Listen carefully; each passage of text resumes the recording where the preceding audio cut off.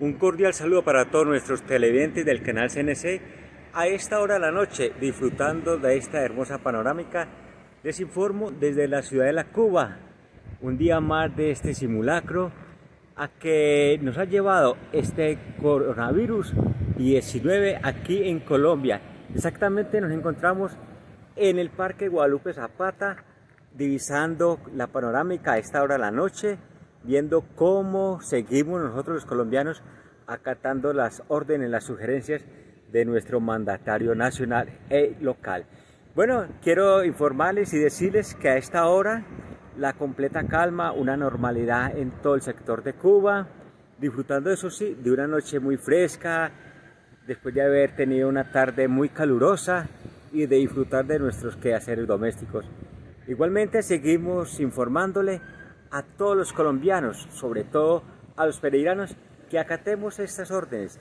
Es por nuestra salud, es por nuestro bienestar, de nuestra familia y de nosotros mismos y sobre todo del mundo. Quiero dejarlos con una reflexión a esta hora de la noche, es de que la naturaleza ha sido la primera beneficiada de esta cuarentena. Debemos de agradecerle a Dios o a quien usted crea cómo esto nos ha servido para que reflexionemos, para que volvamos a estar en familia, para que volvamos a compartir aquellos hermosos momentos que de pronto por la tecnología, por la sociedad de consumo, los habíamos dejado muy pero muy olvidados. Aquí como podemos ver en el transporte masivo la afluencia de tráfico, de gente es muy poca, casi nada, pero igualmente el transporte masivo sigue prestando su servicio para todos los risaraldenses, en especial para el área metropolitana. Como podemos ver en el fondo eh, hay algún servicio de taxis, eh, algunas motos, unos alimentadores que nos permiten movilizarnos a ciertos sectores de la ciudad de La Cuba.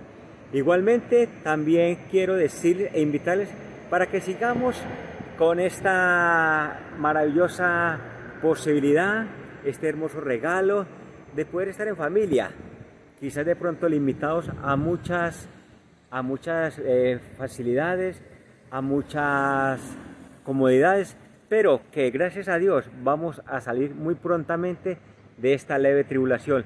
Los dejo con esta, panorámica, con esta panorámica al fondo de esta hermosa ciudad, de esta hermosa ciudadela y invitarlos para que nos sigan acompañando con todos estos informes especiales desde varios puntos de la ciudad de Pereira, del municipio de Esquebradas y de otros sectores de la Querendona y Tranochora, ciudad morena como es Pereira, la capital del eje cafetero. Que tengan todos una feliz noche.